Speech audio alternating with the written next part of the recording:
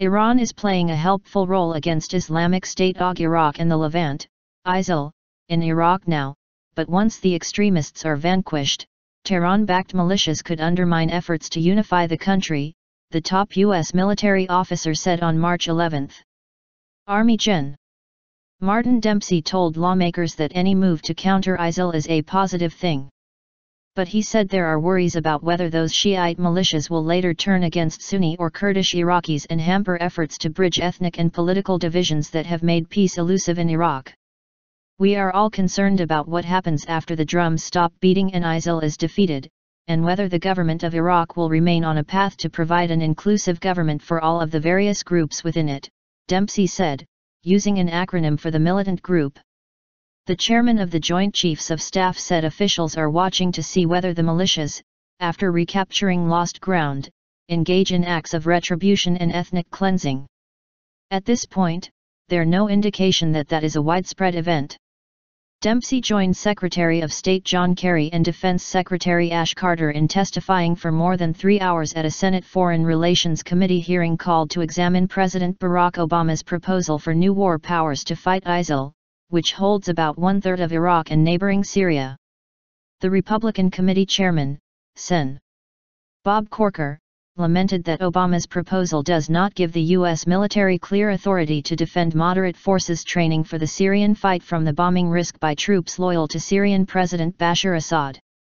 Dempsey cited active discussion about the kind of support we would supply once the new Syrian forces are fielded.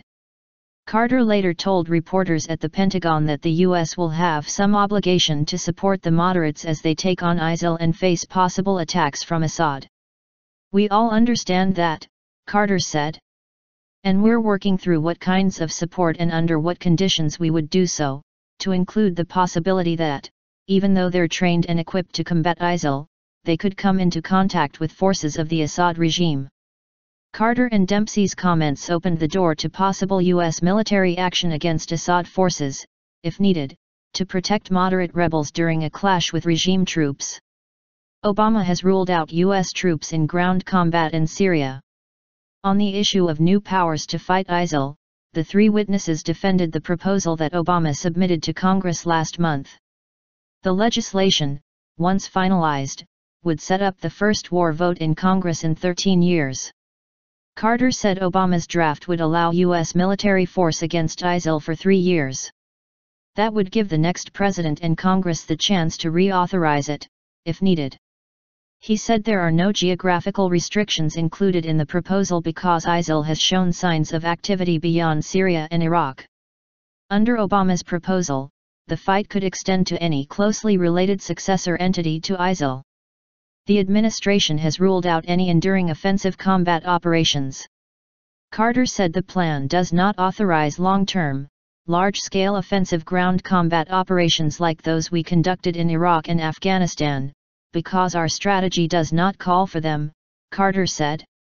Instead, local forces must provide the enduring presence needed for an enduring victory. Republicans have expressed unhappiness that Obama chose to exclude the possibility of a long-term commitment of ground forces. Some Democrats voiced dismay that he had left the door open to any deployment at all.